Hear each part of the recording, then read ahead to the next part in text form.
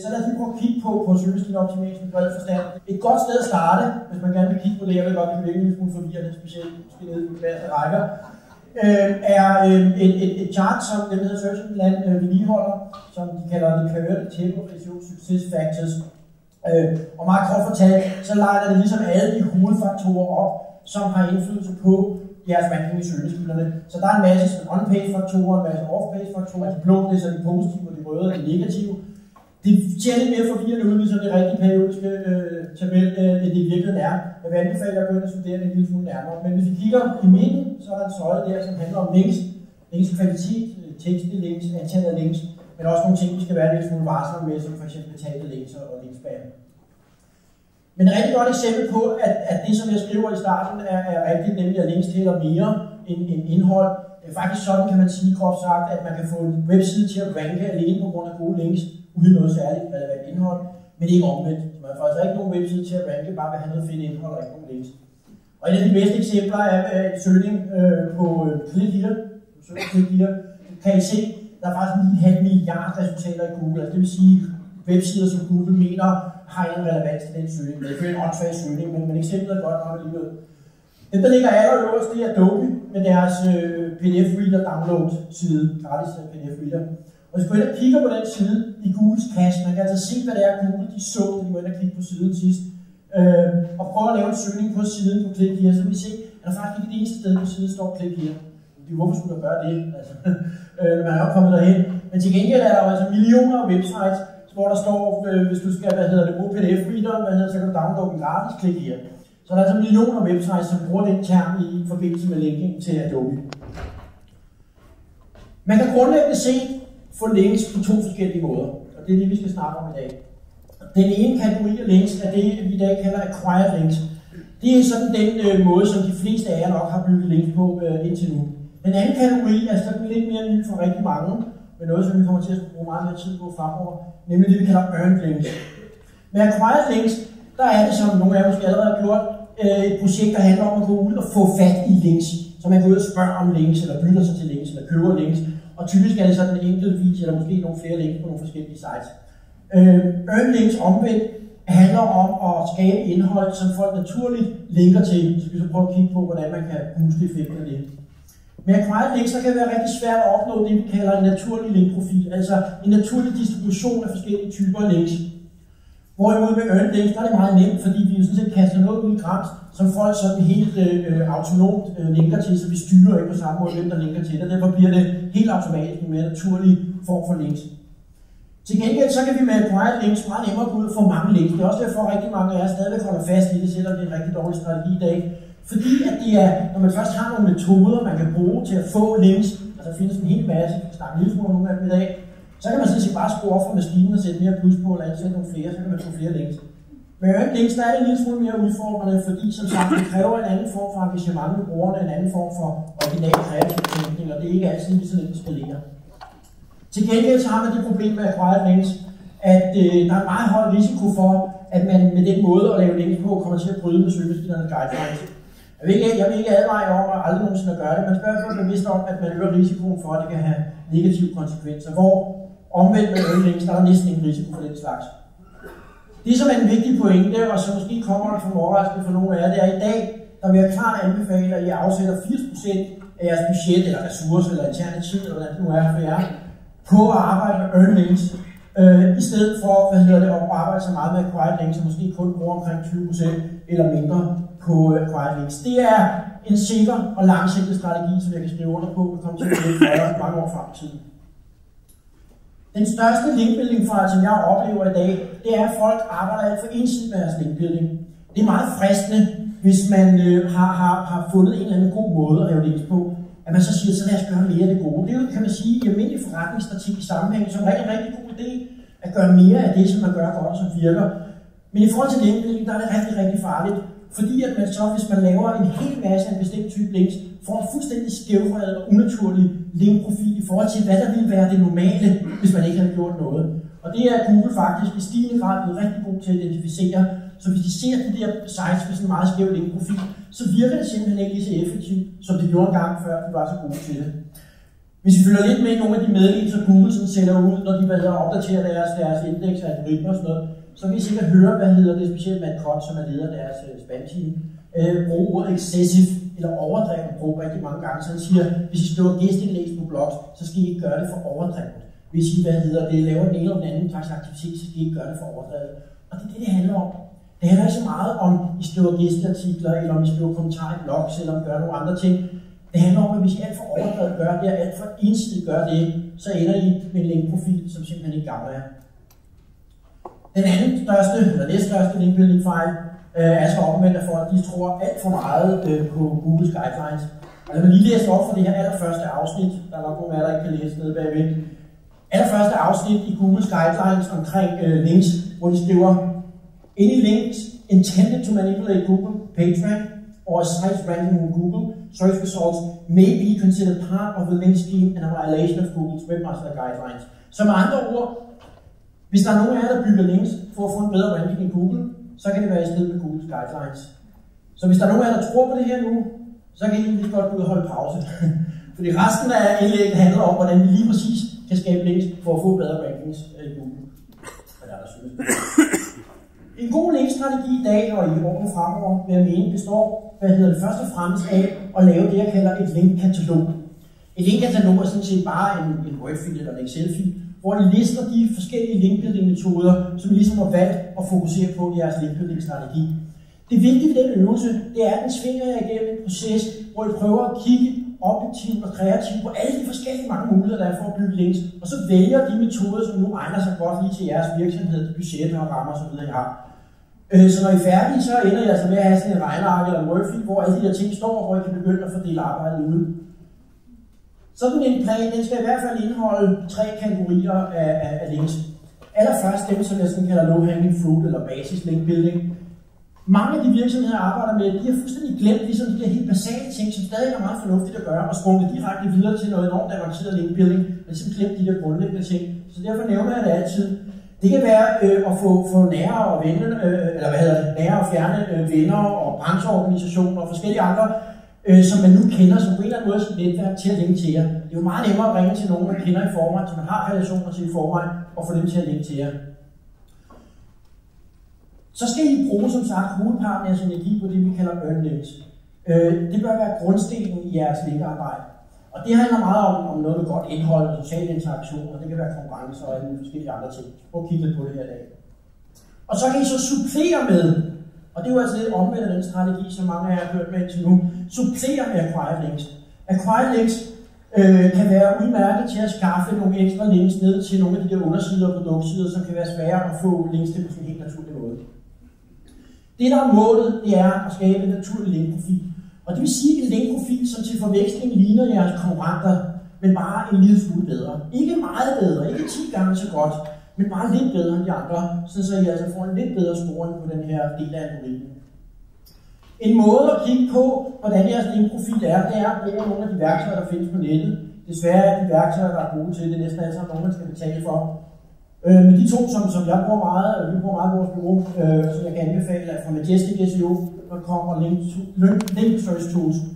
Øh, Majestic SEO, de laver øh, blandt andet, de laver mange forskellige ting, de laver blandt andet nogle charts her af linkdistributionen, Øh, og det kan godt være igen, det ser sådan lidt, lidt, lidt svært at læse i de der charts, når man bare ser en enkeltstående chart.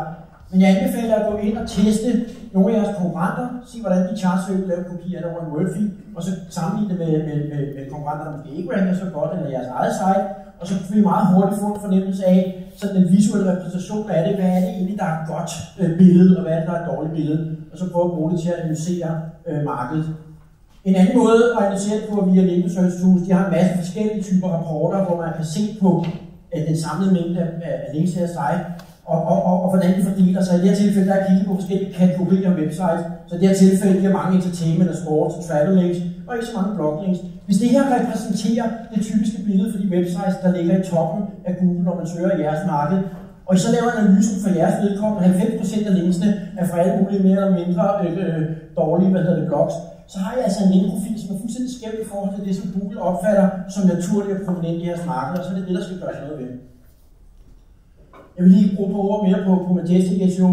Det er verdens største øh, linkdatabase. Det skal variere lidt i størrelse, men de har været helt op og vende på omkring 4.000 milliarder links i deres øh, indeks. Det er et rigtig stort tal. Det er næsten dobbelt så mange links, som Google øh, kender til i deres indeks. Det er rigtig godt til at researche ned og ud i hjørnerne, hvis man for eksempel gerne vil se, hvad er det for nogle links, jeres konkurrenter har, og kunne der måske være nogle af de steder, hvor I også kunne få en link fra, så er den her database rigtig god, fordi de dækker så utrolig meget, som de gør. Og så vil jeg lige nævne en vigtig ting, at hvis I registrerer derinde, så kan I få gratis data fra jeres eget websites, eller egne websites. Det er ganske nemt at gøre. I kan så selvfølgelig ikke få det fra konkurrenten, der skal betale subscription. Der er sådan forskellige niveauer af det. Øh, men det er en rigtig, rigtig god service, og brug den også, selvom I ikke signer op til, til betalt version. Der findes selvfølgelig alternativer. De to, jeg nævner her, det er dem, jeg bruger mest selv, eller vi bruger mest selv i vores bureau. Men af gode alternativer kan jeg nævne ahrefs.com og OpenSiteExplorer.com, som også øh, maskinmærkeservices, jeg så bare valgt at bruge mest gerne. Lad os prøve at kigge lidt først på det første punkt i den her linkedeling plan, no hanging fruits. Øh, det første det er som sagt at spørge alle dem, man ligesom kender, som er tæt på en, om ikke de vil lægge. Det kan være partnere, store leverandører, underleverandører, medarbejdere, familier, alt muligt. Det kan hurtigt blive til 10, 20, 30 stykker, alt efter selvfølgelig hvor socialt og relativt der er. Det næste punkt er at kigge på, at der er brancheorganisationer, der er måske nogle lokale øh, øh, organisationer, man kan sponsere. Øh, det er meget billigt at for eksempel sponsere det lokale, hvad hedder det, pige, øh, hvad hedder det, fodboldhold eller, eller håndboldhold, og de er enormt taknemmelige for for eksempel at få nye trøjer eller et eller andet. Det er tit spørgsmål om nogle ganske få tusind kroner. Og de her organisationer har tit nogle ganske udmærkede websites, og de er selvfølgelig glade for at nævne og promovere øh, deres sponsorer og venner. Så der kan I få øh, gemmerne en link for en ret lav pris.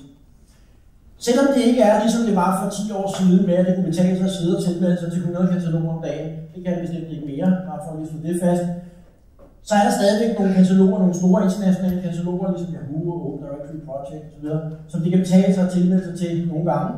Og der er også en håndfuld danske kataloger, som man godt kan tilmelde sig til. Når jeg tager det med her, så er det fordi, det er rimelig hurtigt overstået, det er ikke særlig svært, og så har man ligesom fået de links med også. Og så skal I selvfølgelig i gang ude på nettet i alle hjørner og kanter, hvor jeres målgruppe også befinder sig, hvor der er aktiviteter, der relaterer sig til jer. Aviser, communities, alle mulige steder, hvor I kan være med og deltage, og hvor man som regel kan oprette en profil, og på sin profilside linke til sit website. Øh, igen, alle de her nogle små elementer, det er ikke noget, der betyder meget, men når man ligesom har været det her basisting igennem, så er man måske op på 25, 50, 100 unikke domænelinks, og så har man altså ligesom flyttet sig fra at være alle dem, som der slet ikke har noget, og næsten ikke har noget til at være sådan trods alt på vej til at blive etableret. Og for rigtig mange kan det være det, kan man sige, det, det rigtig gode to grundlag at arbejde videre på. Nu nævnte jeg lige det sociale også der med communities og noget videre. Det er jo sådan i dag, at, at links er ikke bare links i en traditionel forstand mellem en webside og en anden webside. Det er også i høj grad blevet et spørgsmål om øh, synlighed i de sociale medier. Så, øh, så hvad hedder, nu snakkede Thomas rigtig meget om, hvordan I, hvordan det kan og sig osv., og det, det skal vi rigtig meget på. Men jeg vil bare gerne lige nævne, i forhold til SEO, der, der er det de store sociale medier, som tæller.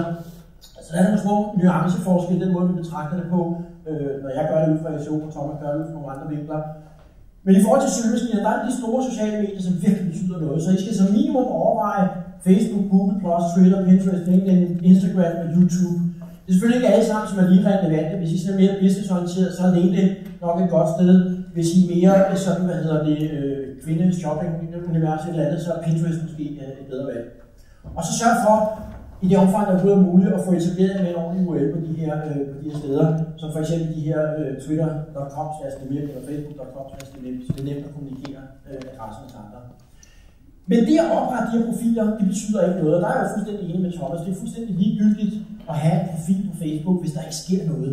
Det, som gør, gør de her profiler interessante, det er en platform for et engagement med jeres målgruppe. Og det er det, der skal til. Og så kan man så diskutere, hvad er det så for et engagement, der skal til. Og Thomas har selvfølgelig sådan, kan man sige, en, en mere øh, interessant, meget interessant og akademisk tilgang til, hvad det er, man så kan gøre for at kommunikere med folk. Men man kan altså også stadigvæk godt gribe sådan meget konkret an at sige, hvad er det, der kan aktivere folk? Og noget af det, som vi har god erfaring med, er, hvad hedder det, interessante ting, cool ting, hvad hedder det, øh, videoer, interessant. Og det behøver ikke altid at være, hvad hedder det, egne videoer. Det kan der nogen af der kender sig, der hedder Retardo. Det er en kæmpe succes, ikke? med millioner af sidevisninger. Det er udelukkende videoer på YouTube, de viser, de har lavet noget af det selv. Men de er altså med til at engagere folk og, og lave noget, som folk synes er interessant. Det der, er, det, der er målet med det, det der er målet med, med, med det her engagement, det er selvfølgelig at få folk til at synes, at det er interessant, det I bringer. Og når I bringer en hel masse, der er interessant og giver værdi for dem, der nu har lyst til at følge med i det, så kan I også meget nemmere slippe nogle kommersielle beskeder ind imellem også. Men hvis det udelukkende sådan en strøm af, af kommersielle beskeder, ligesom sådan en kataloghæfte, så er der altså ikke nogen, der gider at følge med i jeres aktiviteter. Og det her, det skulle så gerne føre til, at I får flere venner, flere følgere, og nu kalder det forskellige steder, og de er mere engagerede, at de liker mere, at de share mere, at de kommenterer mere. For det er lige præcis de signaler, som søgemaskinerne i et vist grad i dag, og jeg forudser i endnu højere grad i fremtiden, kommer til at aflæse. Fordi det er nogle signaler, der fortæller søgemaskinerne noget om, hvad er det, der er top of the town, hvad er det, folk snakker om i øjeblikket, hvad der er interessant. Det er det, som de kan aflæse ved at se på de her sociale signaler. Et lille trick, som ikke er så meget, kan man sige med LinkedIn at gøre i virkeligheden, men, øh, men hvis I har et nyhedsbrev, og det håber jeg, næsten alle sammen har, hvis I ikke har, så bør I få det. Øh, hvis I har et nyhedsbrev, så kan et godt lille trick være at segmentere det her nyhedsbrev på Gmail-bruger. Det kan I de fleste nyhedsbrevsystemer segmentere på, på, på domænet. Så segmentere det på gmail.com og sende en invitation ud til, at, hvad hedder det, at folk de inkluderer jer i deres service. Det er sådan Google svar på at like noget, eller hvad hedder, blive ven med, med, med nogen. Det, det betyder, det er, at hvis jeg nu har liket en virksomhed, når jeg så ligger og laver søgninger i Google på noget, som der faktisk findes på din webside, så kan det være normalt, at Google vil ranke din side på den søgning på side 3. Men fordi at jeg allerede har tilkendegivet, at jeg har tillid eller interesse i din virksomhed, så følger Google det op, hvad hedder på side 1, eller måske omføre det top på side 1. Altså for mine søgeresultater, ikke for alle andres, men for mine. Og det er jo klart, at de mennesker, der i forvejen abonnerer på jeres nyhedsbrev, har som udgangspunkt særlig interesse i jer frem for alle mulige andre. Så det er relativt nemt at få folk til at, at inkludere jer i deres service. Og, og grunden til, at vi så hvad hedder det, øh, segmenterer det på, på, på Gmail, det er, at alle dem, der får deres mail på Gmail, de har en Google Plus profil, og de er allerede logget ind på Google, så det eneste skal, det er lige at trykke på linket, og så, så er de fanget. Så står jeg tit i den situation med kunder, når vi siger, jamen så skal I lige etablere på Facebook og Twitter og Google Plus og alle der, så siger jeg, hold da rundt, ikke? Hvad hedder det? Så skal vi aldrig sætte, jeg ved ikke, hvor mange medarbejdere til at sidde der og opdatere alt det der, men det er det, vi skulle have tid til. Øh, og det hjælper vi så også folk med, øh, fordi der findes heldigvis også værktøjer til at automatisere og systematisere deres, deres, øh, jeres engagement på, på sociale medier. Øh, jeg tror, I kan få fat i den her præsentation bagefter. Det er lige, om der er lavet sådan noget mere, det bliver sendt ud til folk. Eller så må I skrive til mig, så får Så der er en masse links til det her, så det er svært at skrive med. Vi bruger blandt andet det der tweet adders, hvor man automatisk kan, kan opbygge followers og, og, og lave tweets øh, fra RSS feeds, altså fra andre sites. Øh, Plopio øh, er også en, en, en variation af det, men hvor vi kan lave øh, unikke øh, tweets ud fra, fra RSS, inklusive unikke øh, hashtags.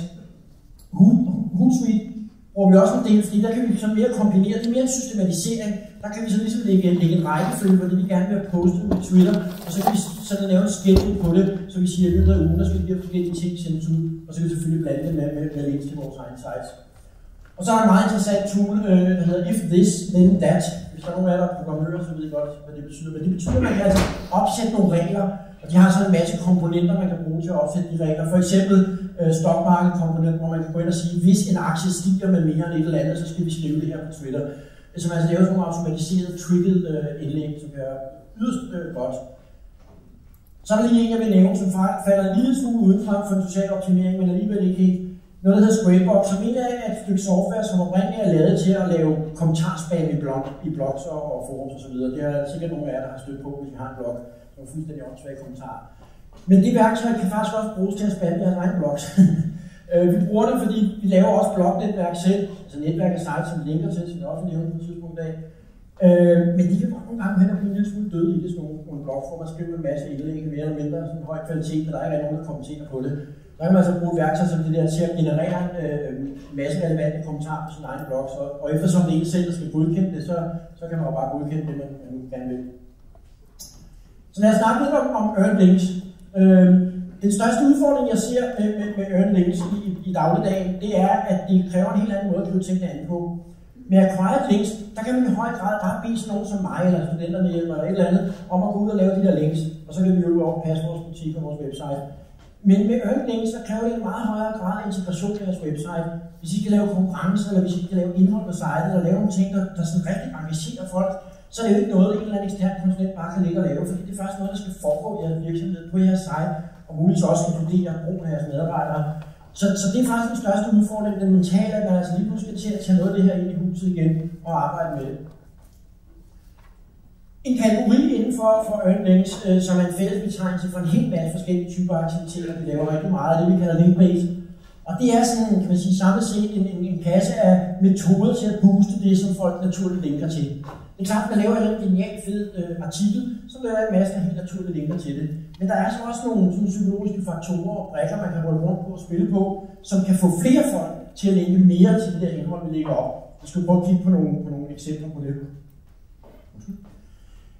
Jeg har sådan kategoriseret de her linkbase sådan i fem sådan hovedkategorier, som vi har en erfaring for at virkelig er effektive.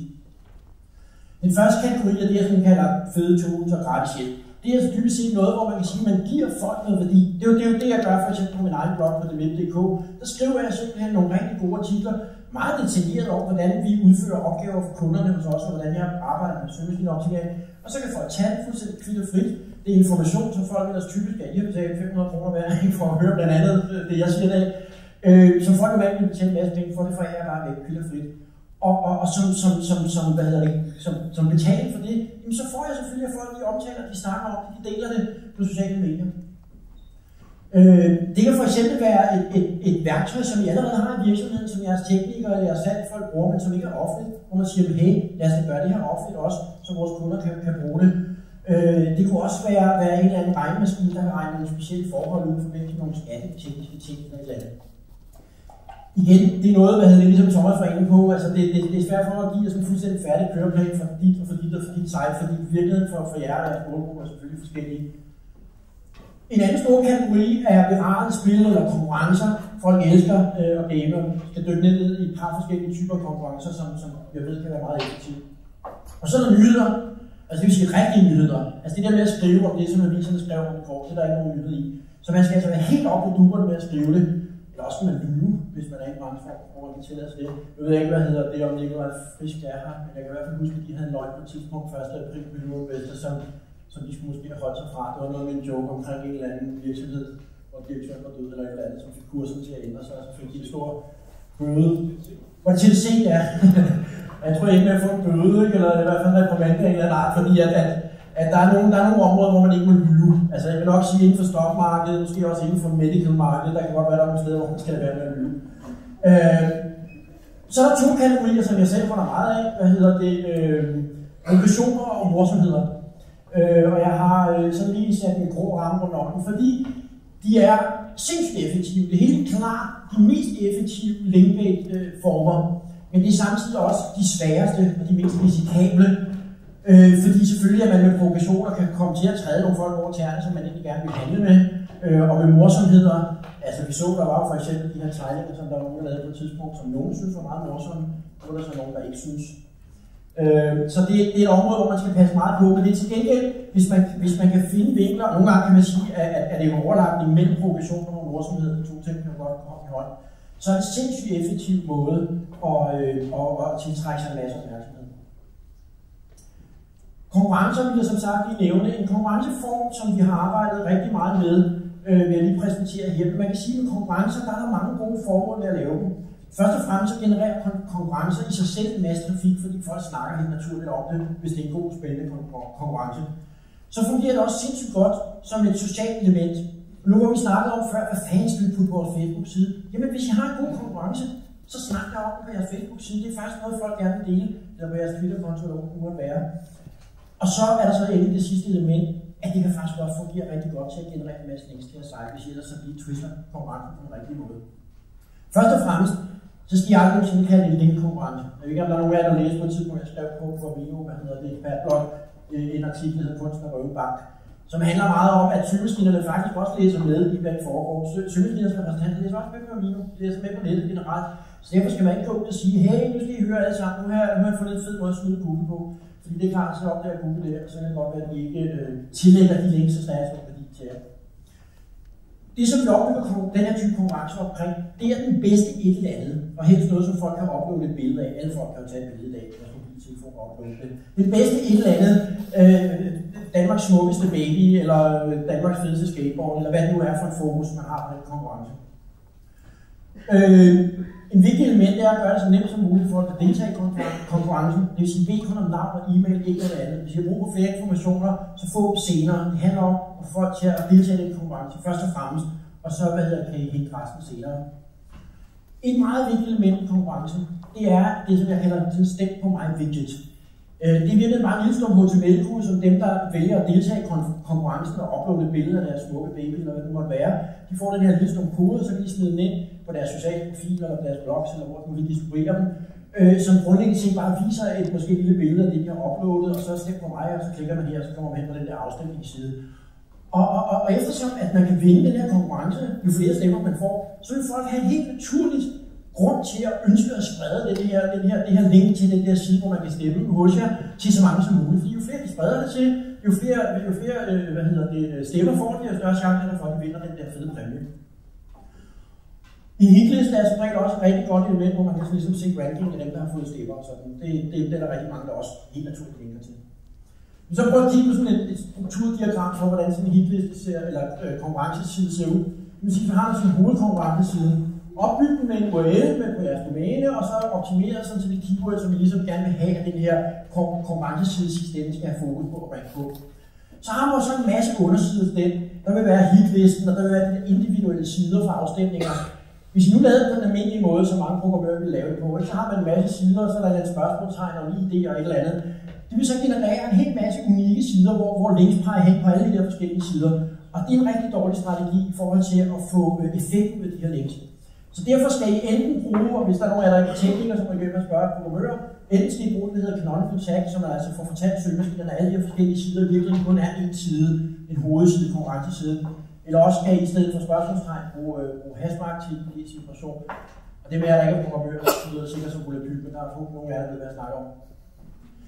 Og den her stik på mig, en anden ting, der er vigtig, den her stik på mig, vigtig, bliver bare lavet sådan meget sådan grov illustrering af, hvordan det skal se ud. Det, der er vigtigt, det er, at specielt hvis der er rigtig mange, der kommer til at deltage i den konkurrence, så er det enormt vigtigt, at den tekst, som ligesom er den tekst, man klikker på for at komme hen på siden, den linkteksten, at det ikke er den samme. Fordi hvis der lige pludselig bliver løbet af kort tid opstår tusindvis, eller måske heldigvis til fald 10.000 vis, af fuldstændig identiske links med nøjagtigt den samme linktekst, så kommer det simpelthen til at se meget unaturligt ud øh, for Google, og så er der meget stor chance for, at de slet ikke med links. Så sørg for at lave en, en, en liste af forskellige linktekster, og så roterer det sådan random igennem, så de forskellige, der får den her, den her widget, de ikke får den samme linktekst alle sammen.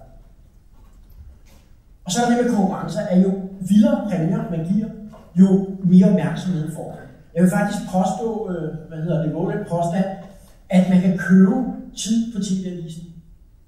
Hvis man giver en præmie, der er tilstrækkeligt vanvittig, ikke? hvad hedder det, så, så, så, så får de simpelthen, bare på grund af præmien, så meget opmærksomhed, at almindelige traditionelle medier lige pludselig begynder at skrive om det. Jeg ikke, om der er nogen, der kan huske den her, den her konkurrence. Der var sådan en anden form af den her afstemte konkurrence. Men hvad hedder det, lille ø, hvad hedder det, uden for, for, hvad hedder det, for Australien, som, som skulle promovere den her ø som en turistattraktion. De havde et ganske lille budget at gøre godt med, hvad der svarede til, at de kunne indrykke nogle små fabrikannoncer sådan i, i større aviser rundt omkring i verden. Men det var altså ligesom, hvad budgettet rakte til. Og det kommer man altså ikke ret langt. Så, så de, hvad hedder det, de fandt den her fantastisk gode idé at, at, at lave den her jobannonce, som ikke har en skid med jobannoncer at gøre, når der er en konkurrence, hvor man altså kunne vinde og blive caretaker der på den der ø, øh, og man skulle dybest set bare ligge nede på stranden i et hvad hedder det, med tropeø og kigge på øh, søde unge kvinder uden ret meget tøj på. Og så man jo få 100.000 dollar hvis man 600 kontrakt. Så det er jo selvfølgelig ikke et job. Øh, det er en præmie, øh, og det kunne folk så ansøge om. Og det der, det der var, jeg ved ikke, at der er nu er der også lagt mærke til i Danmark, det var nogle år siden kørte. men jeg fik sådan en massiv omtale. Jeg talte øh, fem eller seks dage i træk i Danmark, hvor den var på begge nyhedskanalerne og i alle aviserne, og det var bare i Danmark. Øh, det samme gav sig gældende på CNN og Sky og alle mulige andre af de der store tv-kanaler. Altså en helt vild opmærksomhed på baggrund af en, af en skide konkurrence, som så måske er endt op i et budget på, hvad fanden jeg en million kroner eller sådan noget andet. Men i forhold til alle den tid, til den opmærksomhed, de fik, så var det en brøddel. Øh, så meget, meget effektivt. Jeg ved ikke, om der er nogen af jer, der kender infographics. Øh, det bliver ikke brugt ret meget i Danmark, desværre vil jeg sige. Det er faktisk rigtig godt. Men infographics er dybest set en måde en, at, at fremstille noget måske lidt kompleks information eller viden eller data i sådan en grafisk format. Jeg har sikkert set sådan nogle, ligesom den der. Og det kan være utroligt hvad hedder det, underholdende, men det kan også være, være, være, være en måde at lære noget på, forstå koncepter omkring et eller andet, som ellers var svært at forstå. Der er også kommet en, en variant, endnu mindre udbredt endnu. Jeg tror, det bliver meget udbredt, at man kalder det instructor graphics, som altså har en lidt anden fokus, men har sådan fokus på sådan en how-to. Hvordan gør man? Jeg kunne for lige til at tænke på det, da jeg sad hjemme. For eksempel, hvis man er ejendomsmaler, så vil det være helt oplagt at lave sådan en structure graphic om, hvordan køber man egentlig andet, man skal sælge hus. Altså alle folk er forvirret. Hvad er det for nogle forskellige papirer, man skal udfylde? Hvad er det for en rækkefølge ting, der skal gøres i? Prøv at illustrere det på sådan en måde der, så tror jeg, man vil få fat i mange, mange, mange flere mennesker. Jeg tror, masser af mennesker vil dele sådan en god øh, hvad hedder, infographic øh, omkring, hvad det er. Der er nogle eksempler, I kan også bare søge Google på, på infographics. Der ligger masser af eksempler. Søg for eksempel i Google Images, så kan I finde masser af det. Der findes også nogle værktøjer, som kan mere eller mindre automatisk lave de her infographics for jer. Jeg vil ikke anbefale, jeg synes, man skal bruge en rigtig grafiker til det, men altså uh, Infogram, uh, Easily og, og Pictochart er, er, tre af de sådan mere kendte services, hvor man meget nemt, også selvom man ikke er grafiker, kan lave sådan nogle, nogle, nogle pæne præstationer. Her er der et eksempel fra en af mine venner, Aaron Wall, som blev en website, der hedder Showbook.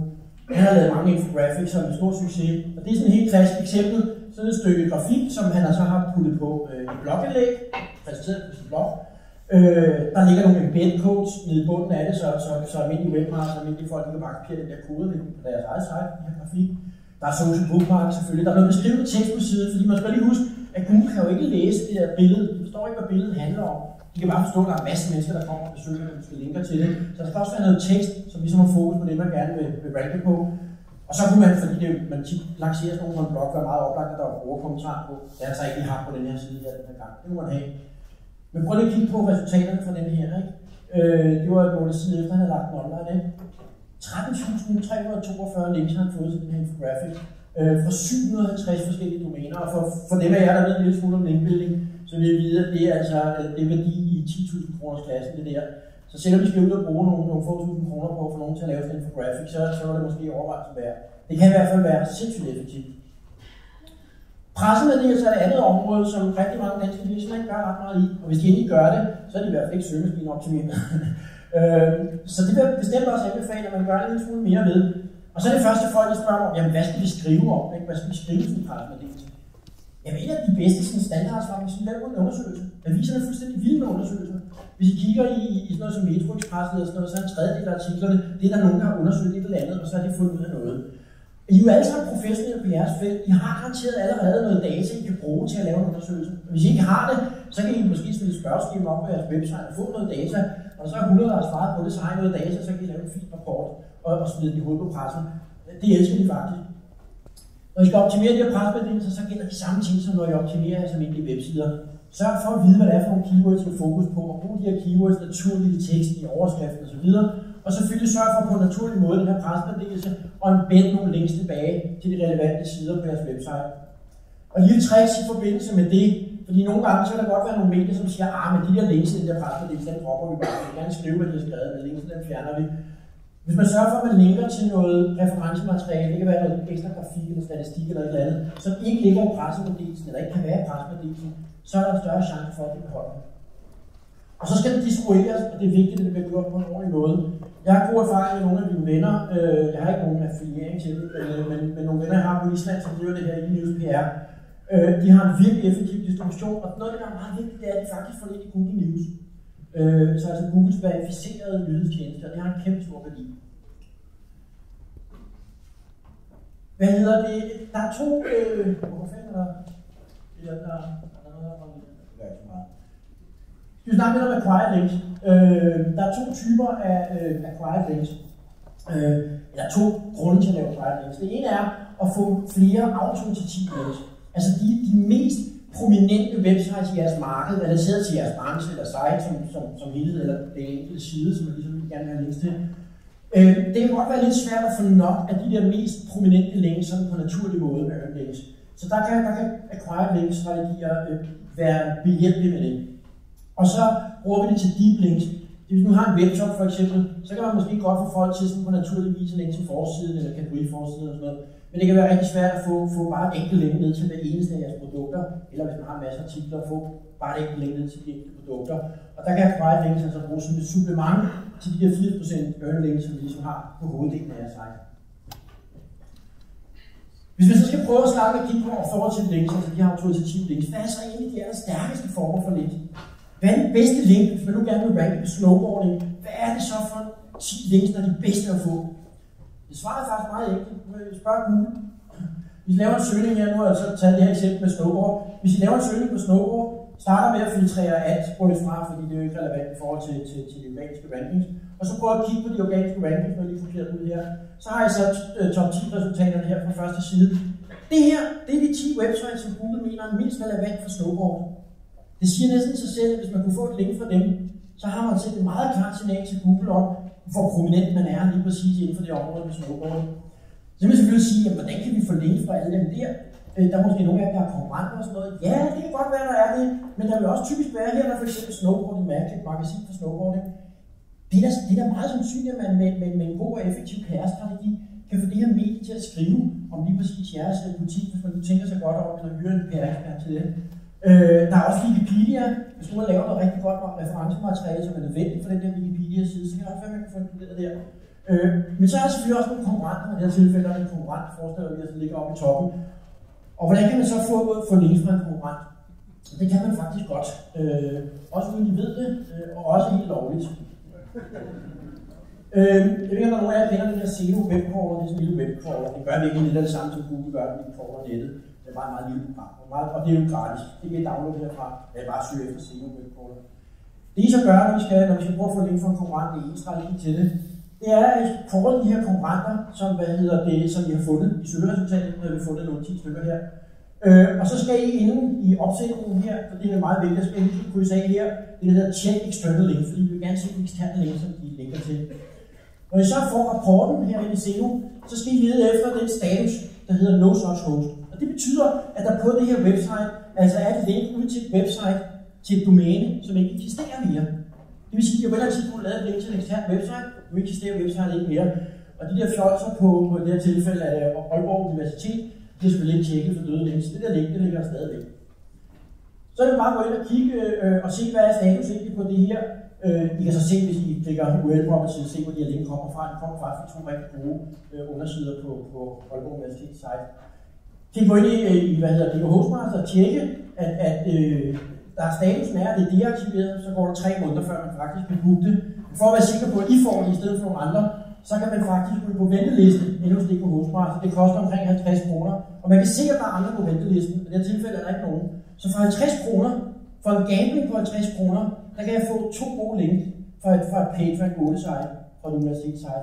Det er altså godt nok noget af det billigste, man overhovedet kan få. Og så kan man jo, nu kan man sige, nu har vi, nu har vi fundet frem til det, vi gerne vil længe fra via, via en søgning, men I kan også bare gå ind på sådan noget som Netnation og se en ranking af alle de domæner, der findes i Danmark. Og hvis man bare tager fra PageRank 3 og op efter, så er der faktisk en 60-70.000 øh, domæner, som har sådan en tilstrækkelig god linkprofil til det, det være fedt at få et link fra dem. Så der kan I bare gå i krig, der er 60-70.000 domæner, vi kan bare gøre med at for at se, om ikke de skulle linke til nogle domæner, der ikke eksisterer mere. Det kan jeg garantere at at gør. En anden måde at få link for konkurrenter, det er så ikke direkte for konkurrenterne, men det er sådan med link, at det ikke bare er sådan, så en stemme fra A til B tæller. Det er også sådan, så en stemme fra A til B til C til D faktisk også giver nogle værdi til D. Så det er sådan, så de her linkværdier, de vandrer ned igennem. Det er klart, de aftager med bølger efterhånden, som de bevæger sig ned. Så det vil sige, hvis man nu siger, drømmen i Danmark, det kunne være, at vi får link for forsiden af Danmarks Radio. Det er nok urealistisk. Men så kan det være, at Danmarks Radio linker til et andet site. Der kan vi måske få et link fra. Eller det kan være, at det her site linker til et andet site, hvor vi så kan få et link fra. Men klart, det tæller mindre og mindre, jo længere det kommer ned. Men altså, der er, der er sådan en bølgeeffekt igennem det der linksystem. Det her tool, inden det er et af de tools, der er på Link Search Tools, der kan vi så tage de her domæner. I det her tilfælde har jeg valgt de 8 uh, øh, top-rankede domæner, når vi søger på snowboarding. Og så kører den fuldstændig automatisk rapport for os, hvor den laver det her. Det er skide smart. Så kommer man frem til her, i det her tilfælde, der har altså fundet 800, eller 108 fælles links. Det vil sige 108 sites, som er de her 8, eller en vis andel af de her 8, der kan man så vælge at sige, skal der være 2 eller 3 eller 4 minimum, der linker til dem. Men altså 108 sites, som mange af de her top-rankede domæner linker til. Og der er en meget større chance for, at man kan få links fra nogle af de her 108 sites, der måske er for de her 8 top-rankede sites. Link Search Group vil meget anbefale. Vi har jo mange andre rigtig gode rapporter derinde, som er sådan meget fokuseret på lav den her analyse, og så vil du få links på den her måde. Linksafe, øh, som jeg snakker om før, Missing Link Tool er fantastisk. Rigtig mange linker garanteret til jeres website til sider, som I så nedlagt. Det er jo døde links. Hvorfor ikke få dem genoprettet eller redirected? Øh, og der er nogle forskellige andre rapporter, som jeg ikke vil gå dybere ind i nu, men meget anbefaler jeg at ind prøve at kigge på. Så er der mange, der spørger mig, kan man ikke bare hvad det hedder, på en enkelt måde, du ved, øh, købe den maskine, og så trykke på knappen, og så kan man få en hel masse læs. Det vil jo være dejligt. Det andet her er jo temmelig besværligt. Øh, og jo, det kan man godt. øh, problemet er bare, at det er ikke helt lige så nemt, som øh, producenterne gerne vil have til at tro. Et af de få tools, som jeg kan anbefale, som er et meget nørdet avanceret tool, det hedder SEO nu, som dybest set er et værktøj, hvor man øh, kan oprette automatisk sociale profiler og blogs på WordPress og så videre. Den kan endda fuldstændig automatisk oprette Gmail-konti, bryde captchas og alt det her. Altså, så det, det, det er virkelig, hvad hedder det, et meget, meget effektivt værktøj. De har bare desværre også lavet en community på den. Sådan så dem, der bruger det her værktøj, det er dele templates med hinanden. Det lyder jo skide smart, ikke? så kan vi dele med hinanden og være sociale. Problemet er bare, at de, de her delt templates, de afsætter altså nogle meget klare fodaftryk, som søgemaskinerne kan aflæse. Det betyder, at hvis I bruger de samme templates som alle de andre, så er der meget stor chance for, at Google vil se bort fra, fra, fra, fra de links, vi laver på den måde. Så skal man bruge sådan værktøj, så skal man tage sig den tid, det tager at lave sin egen template, lave sine egne opsætninger. Og lad mig sige med det samme, jeg havde en af mine dygtigste folk i, i firmaet til at gå i gang med at arbejde med det her. Han brugte, jeg tror næsten tre uger, øh, inden vi overhovedet begyndte at lave nogle på det. Altså tre ugers fulltime knokkeri med det. Ikke? Så I skal have forberedt på noget, der tager en masse tid. Til gengæld, når det så er sat op, så kan I lave næsten lige så mange links, I har lyst til hver dag. Men husk på det, jeg sagde først. Det her det er for eksempel en af de her farlige ting, fordi det er så nemt, når man først er kommet i gang med at lave mange links, så man kan blive fristet til bare at køre fuld skrue derude med denne her, og så får man altså en meget skæv linkprofil. Åh, oh, der var lige en, der her. I har også, som jeg sagde, vi har også opbygget et vist netværk af blogs, som vi bruger til at linke øh, typisk dybe links ned til enkelte produkter hos nogle af de kunder, vi arbejder med. Nogle gange hjælper vi kunderne selv med at lave nogle, nogle netværk. Det vil sige, at i dag, hvis I skal gøre det, så nytter det ikke noget at lave nogle blogs med en alt for dårlig kvalitet indhold. Det behøver ikke være sådan Pulitzer Prize winning artikler, men det skal være, kan man sige, sådan på niveau med standarden på nettet for sådan en almindelig legitim ordentlig blog. Det er jo så, at det niveau ikke er så forbandet højt. Øhm, så det er, ikke, jeg vil sige, det er ikke så svært nødvendigt. Hvis man gerne vil ligesom puste, kan man sige, det at lave sådan et netværk, og gerne gøre det på et bedre fundament, så kan det være en idé at etablere de her blogs på nogle eksisterende domæner, nogle eksisterende domæner, der er udløbet, som der allerede er nogle links til. Det her firma oppe i Sverige, der hedder Internet Vikings, de har specialiseret sig i det, et gammelt hostingfirma, så de øh, sniffer altså øh, øh, eksisterende øh, domæner op, som er udløbet og som har en god SEO-værdi, og den kan man så købe af dem for nogle meget rimelige penge, ligger mellem 40 og 150 øh, øh, euro for sådan en domæne. Og så har de så også adgang til, jeg tror det er næsten 200.000 IP-adresser fordelt ud over hele verden, som altså også kan, de kan også poste de her, de her øh, værdifulde domæner på IP-adresser, som er relevante for jeres øh, region og unikke øh, netværk. Så har vi været, øh, haft lidt de problemer, når vi så laver de her netværk og de her blogs, at, øh, at i dag, hvor, hvor de sociale signaler er blevet så vigtige, så kan man sige, at man bare har sådan en død blog, hvor der er et eller andet ny afsender på den, og nogle anonyme kommentarer, så virker det ikke rigtig troværdigt. Øh, og det er vi bange for også at en grad smitter af, og det kan vi se smitter af i søgemaskinernes fortolkning af de her blogs. Så, så vurderingen af værdien af dem bliver ikke så højt, og dermed der grisene fra dem. Så derfor er vi blevet nødt til at kigge på, hvordan kan vi booste den der, med troværdighed. Og det gør vi med, med, øh, med det, vi som godt sagt kalder fake personas. Altså det vil sige profiler på Facebook, Google+, Twitter osv., som ikke er rigtige mennesker, men som er nogle falske profiler, vi sætter op for at skabe en eller anden grund, øh, grundsocial substans. Selvfølgelig er det fuldstændig fake, men det virker. Det vi gør, det er, at vi opbygger de her falske personligheder i to niveauer. Øh, det vi kalder A-profiler, som er sådan nogle meget detaljerede profilbeskrivelser, hvor vi ved, altså navn og adresse, hvor han har boet, hvor han har gået i skole, hvad han arbejder med, hans kone og børns navn, og hvad det er, de laver om søndagen. Altså hvor vi virkelig, virkelig ved meget, og selvfølgelig billedet. B-personerne, øh, det er så nogle, vi typisk mest bruger til, til Twitter, øh, hvor hvad hedder det, vi har en meget kort sådan bio teaser ting øh, og navn og måske billede. Øh, så, så, så det er det. Øh, når I har multi-accounts på, på de her steder, og jeg vil sige specielt Facebook og, og Google+, de bryder sig ikke om, at vi laver en masse falske profiler. Twitter er ligeglad. Jeg har haft en god dialog med Twitter direkte omkring det her. Og Twitter er sådan set ligeglad med, om der er rigtige personer bag min Twitter-account, så længe at det, der kommer ud af det, er godt, og folk de subscriber til det. Øh, og det, det skal det være. Øh, men, men Google og Facebook, de er ikke så glade for de der falske profiler. Så derfor så skal I ikke sidde og logge ind på 10 forskellige Facebook-profiler fra den samme computer, den samme IP-adresse, fordi så er det altså alt for nemt for dem at identificere, at det, det kun er en person, der står bag ved dem. Jeg kommer tilbage med det med billedet lige om lidt. Det kan godt være, at jeg stadig har misbrugt det lidt, Martin. Jeg håber, jeg er okay. Øh, hvis vi lige prøver at kigge bare ganske kort på sådan et netværksdiagram, for, når vi laver den her opbygning, så skal I ligesom lægge det ud i nogle led, hvor man herude har det, jeg kalder money site, jeres business site, som er det, som I tjener penge på, og det domæne, som helst ikke skal ryge ud af Google, som I skal passe lidt på. Så næste niveau over, det er de her blogs, som jeg snakkede om, øh, hvad hedder det, som er, er, hvad hedder det, forholdsvis okay kvalitet, i hvert fald så god kvalitet, det ikke bliver sparet ud af Google. Og så ude i det næste niveau, der har vi så de mere, kan man sige, skumle links, links hvor man kan sige, der kan være lidt mere tvivl om, hvorvidt det er nogen Google, de vil anerkende eller lægge vægt på eller ej. Men, men, men, men i stedet for at linke dem direkte til jeres website, så linker I dem til jeres blog, så de får opbygget en vis værdi, og så sender den værdi videre til jeres øh, hovedsite. Så var der det der med, med, med, med de der falske personligheder. Øh, vi, vi, da vi startede med, der begyndte vi bare at lave billeder af os selv og smide op. Så hvis I møder en sneaker fra Odense, som ligner mig rigtig meget, så er det ikke mig. Øh, men det blev vi hurtigt tør for, kan man sige. Det begrænser, hvor mange falske profiler med det samme billede. Det er også lidt for oplagt, man kan bruge. Så begyndte vi bare at tage nogle billeder fra nettet. Men så tænkte vi jo, ah, det skulle alligevel lidt om cool, ikke? på en eller anden måde, synes jeg. Øh, så folk har jo ikke gjort noget, jeg er ikke sådan en god menneske, synes jeg.